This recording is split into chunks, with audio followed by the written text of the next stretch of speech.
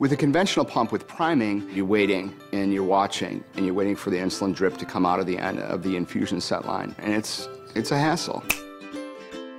Snap is super fast with auto priming. Priming is very quick and easy. Snap it together, it automatically primes the tubing. And it's uh, ease of use that is really a game changer as far as the intimidation factor. It simplifies the whole process. And you twist it on like that, and just that little action pushes insulin all the way out of the, the end of the tubing. And it automatically primes the tubing, which is something that no other pump is currently doing. It's, it's primed and ready to go just like that. I get a kick out of that step because it's something that takes so much time with the other systems, but I've never thought about how easy it can be until I've seen it done on the Snap.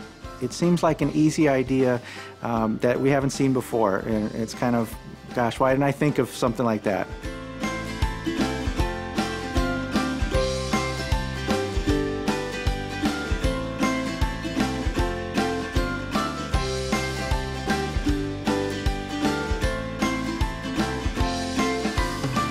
Ready, snap, go.